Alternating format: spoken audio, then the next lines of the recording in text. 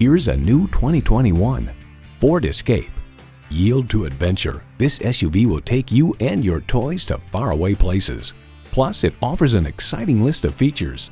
Intercooled turbo i3 engine, dual zone climate control, streaming audio, rear parking sensors, heated steering wheel, remote engine start smart device, external memory control, active grille shutters, doors and push button start proximity key, and Wi-Fi hotspot. Built on tradition, built to last. Ford.